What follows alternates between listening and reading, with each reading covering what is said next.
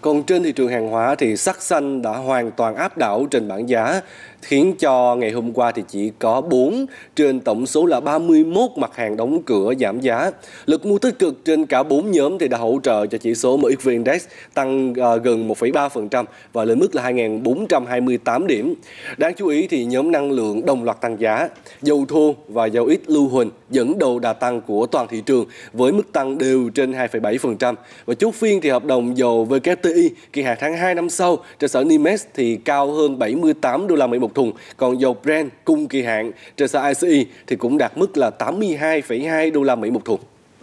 Và giá dầu tăng mạnh ngay sau khi báo cáo của Cơ quan Thông tin Năng lượng Mỹ EIA cho thấy là tồn kho dầu thô thương mại của Mỹ trong tuần trước giảm 5,9 triệu thùng, cao hơn con số dự đoán của thị trường. Và cùng với đó là tồn kho xăng tăng hơn 2,5 triệu thùng, ít hơn báo cáo của Viện Dầu khí của Mỹ. Trước đó, và đặc biệt là tồn kho nhiên liệu trưng cất đã chấm dứt chuỗi tăng nhiều tuần, quay đầu giảm.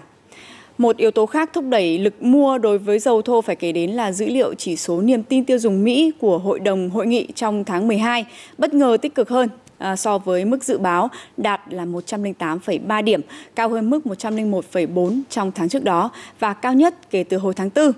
Niềm tin gia tăng trong bối cảnh giá dầu ở mức tương đối thấp có thể thúc đẩy tiêu thụ trong tương lai.